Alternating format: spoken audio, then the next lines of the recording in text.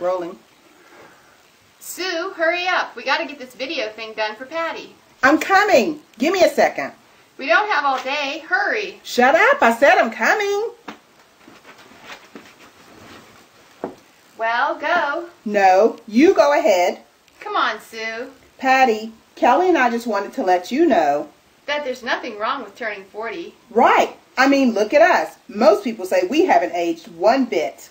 Yep, same smooth skin I had back in college. So don't worry about getting older. Yeah, you just get better and better with each year.